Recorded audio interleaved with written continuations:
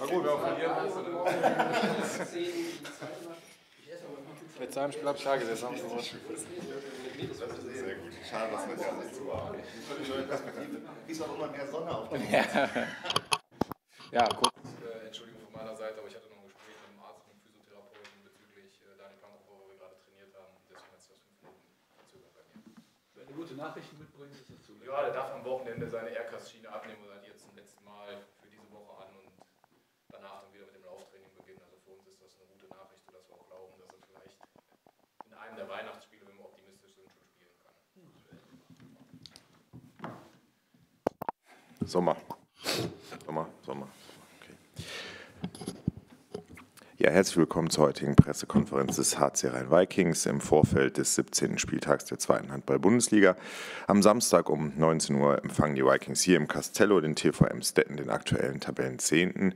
Die Vikings sind derzeit auf Rang 12 geführt. Ähm, rund um die Partie wird es aber eine große Aktion geben, nämlich den School Meets Handball, äh, beziehungsweise die School Meets Handball-Aktion. Ähm, aus diesem Grund haben wir auch heute unseren Geschäftsführer René Witte hier zu meiner Linken. René, ähm, kannst du vielleicht ganz am Anfang ein bisschen skizzieren, was steckt hinter dieser Aktion? Wie ist die bisherige, bisherige Resonanz und worauf dürfen sich die Leute am Samstag freuen? Ja, auch von mir schönen guten Tag. Ähm, ja, wir haben das ins Leben gerufen, natürlich um den ähm, Handball in Düsseldorf und im, in, im Rheinland äh, bekannter zu machen. Ähm, äh, wir wollen diese Aktion zweimal in der Saison äh, durchführen. Einmal in der Hinrunde, das ist jetzt äh, gegen Emstetten am 17. Spieltag der Fall und dann noch in der Rückrunde. Dort planen wir gerade den Termin und ähm, ja, hoffen, dass wir den noch bis Weihnachten dann auch rausgeben können. Da gibt es ja mehrere Faktoren, die man so ein bisschen beachten muss. Ziel war eigentlich, dass wir ähm, Eltern, aber vor allen Dingen auch Schüler von allen Schulen aus dem Rheinkreis, aus Neuss und vor allen Dingen auch aus Düsseldorf äh, mit den Lehrern dazu bewegen, sich einmal Handball anzugucken ähm, ähm, und ähm, haben dann ein Angebot gemacht für zwei Euro ähm, pro Besucher, ob es ein Elternteil ist, ob es ein Trainer ist, eines Verein, eine Vereinsmannschaft, Vereinsmannschaften zählen genauso dazu, oder ob es Lehrer sind, Schüler, alle kommen für zwei Euro pro Person ähm, am Wochenende ins Castello und können sich unsere Mannschaft angucken. Ähm, und äh, wir hoffen natürlich, damit wir bekannt werden, äh, bekannter werden, damit wir diesen Sport nach vorne bringen und damit wir auch natürlich die ein oder andere Kooperation weiter mit Schulen ähm, schaffen. Äh, rund um äh, diesen School Meets Handballtag haben wir äh, mehrere Sachen gemacht, ein paar Mitmachtaktionen. Äh, wir haben äh, zwei Co-Moderatoren, ähm, zwei Schüler, die mit dem André Scheid zusammen die Co-Moderation während des Spiels machen. wir haben zwei Reporter, ähm, die mit unserem Pressesprecher vor und während des Spiels ähm, mal durch die Reihen gehen, Interviews führen. Wir haben äh, einige, einige andere Sachen noch äh, gemacht. Wir haben eine Gewinnspielaktion, ähm, wo man äh, als ersten Preis ähm, im Unterricht und Trainingsbesuch durch unsere Spieler äh, mal erfährt ähm, oder man kann sich mal eine Kabinenführung abholen. Also wir wollen so ein bisschen das Innenleben der Vikings zeigen, äh, wollen das den Schülern nach ähm, oder ja, wollen das den Schülern nahebringen und ähm, ja, wollen sie natürlich auf diesen Sport hinweisen, bekannt machen, begeistern und hoffen, dass wir da auch ähm, in Zukunft äh, immer mehr äh, Leute in die Halle bekommen. Äh, Finde ich eine gute Aktion. Es sind sehr, sehr viele Anmeldungen sind gekommen. Noch kann man sich anmelden für Kurzentschlossene. Ähm, da kann man das tun und äh, man kann auch an der Abendkasse mit Schülerausweis und sonst was ähm, äh, oder wenn man Lehrer ist und bringt seine Klasse spontan mit, kann man auch noch reinkommen. Ähm, aber wir sind das erste Mal, das kann man auch sagen, haben das erste Mal am Wochenende vierstellig. Ähm, so weit ist der Vorverkauf schon gediegen und die genauen Zahlen kann ich auch erst am Samstag nach dem Spiel äh, weitergeben und auch erfahren. Äh, insofern freuen wir uns auf die Aktion, hoffen, dass wir ein gutes Spiel sehen. Ähm, und hoffen, dass die Jungs alles raushauen, äh, um uns so zu begeistern, die Leute so zu begeistern, ähm, ähm, dass, sie, dass sie wiederkommen. Ich denke, dafür haben sie in den letzten Wochen auch äh, wirklich gute Werbung gemacht und äh, ich hoffe von den Fans, die uns an dem Tag äh, besuchen, dass sie uns richtig unterstützen und dass wir wie in den letzten Wochen auch gute Stimmung zu Hause haben. Ja, vielen Dank, René. Dann kommen wir doch mal gleich zum sportlichen Trainer Kevin Klatt. Zu meiner Rechten muss ich natürlich auch noch vorstellen.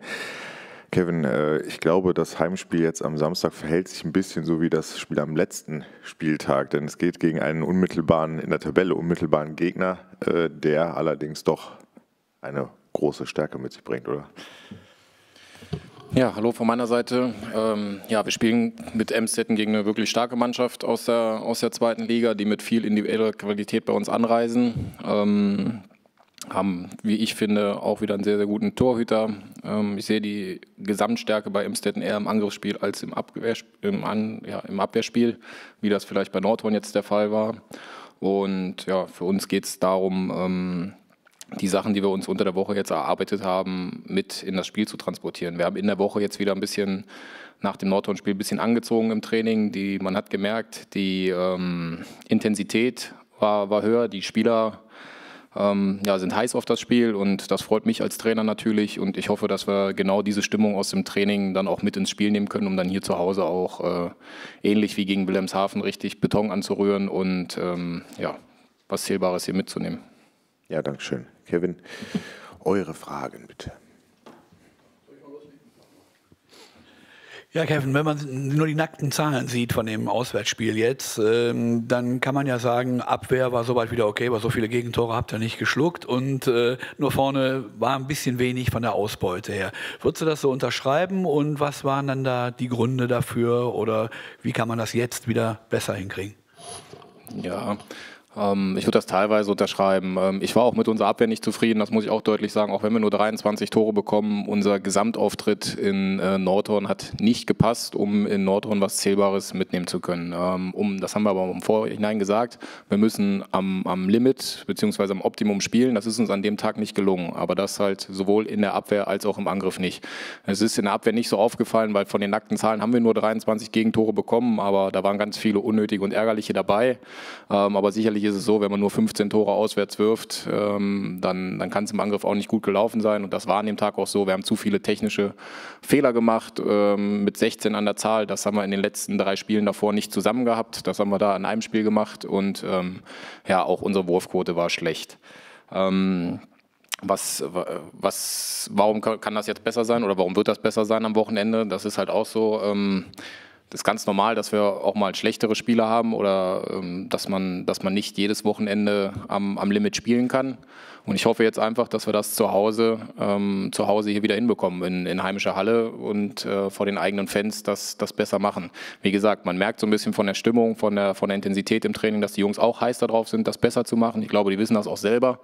Und ähm, ja, ich bin da, bin da wirklich optimistisch, dass uns das auch gelingen wird gegen Emstetten. Weitere Fragen?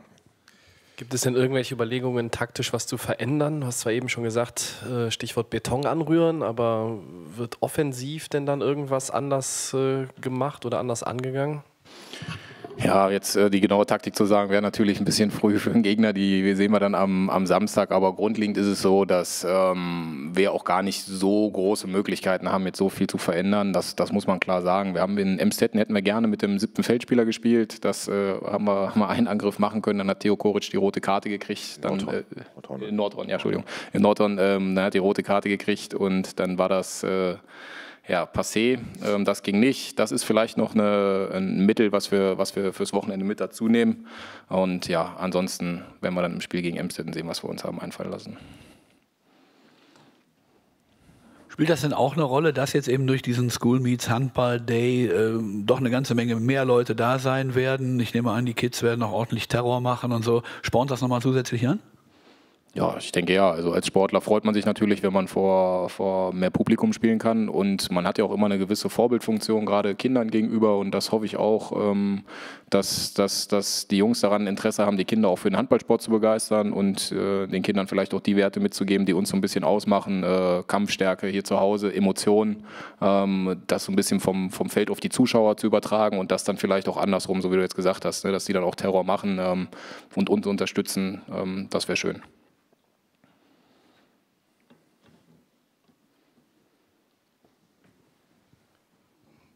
Musstest du die Mannschaft irgendwie besonders aufrichten nach der Niederlage oder war es vielleicht eher sogar so, dass man das relativ schnell abhaken konnte, weil acht Tore Unterschied am Ende dann auch auf der Anzeigetafel standen?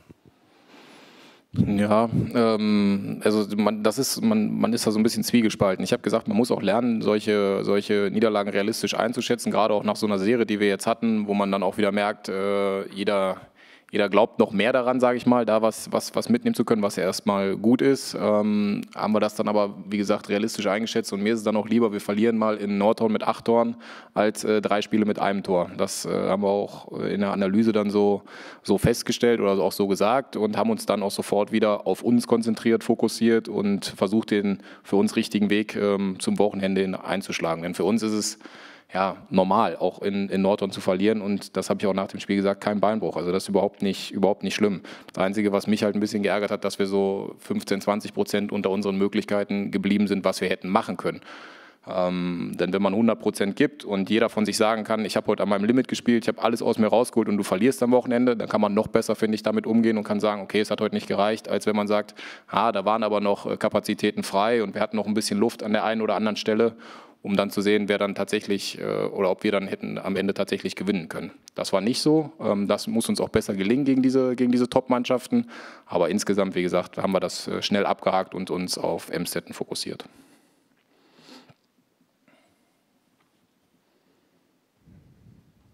Weitere Fragen? Das ist nicht der Fall. Dann äh, danke ich allen fürs Kommen. Weise noch einmal darauf hin, School meets Handball, die große Aktion im Rahmen des kommenden, des kommenden Heimspiels der Vikings am Samstag um 19 Uhr gegen den TVM Stetten. Anmeldungen sind noch bis Freitag möglich, aber auch an den Abendkassen können Interessenten noch gegen Vorlage des gültigen Ausweises Tickets für 2 Euro erwerben, tolle Mitmachaktionen, Gewinnspiele, alles was unser Geschäftsführer Herr Witte schon gesagt hat. Bis dahin alles Gute und Tschüss.